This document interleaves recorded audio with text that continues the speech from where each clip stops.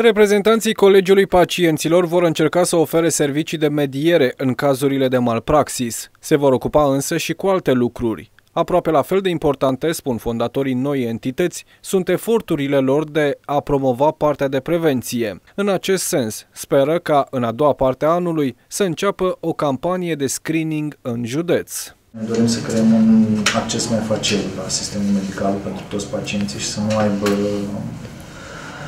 probleme împreună cu Colegiul Mediatorilor din România. Încercăm să ajutăm și să mediem eventualele conflicte din cauza oboselii medicilor și a supra-solicitărilor când mai apar unele erori medicale.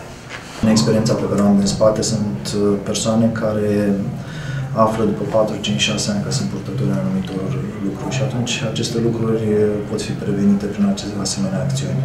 Deocamdată, aflat la început de drum, Colegiul Pacienților are puțini membri, însă aceștia speră să se extindă cât mai repede. Totul este pe bază de voluntariat, mai spun fondatorii, însă pentru cei ce au nevoie de ajutorul și suportul lor există un tarif minimal. Pleacă de la 500 de lei și diferă de la caz la caz. Astăzi lansăm serviciu suport între, pentru cazurile de malpraxis, un serviciu suport care are la bază procedura medierii.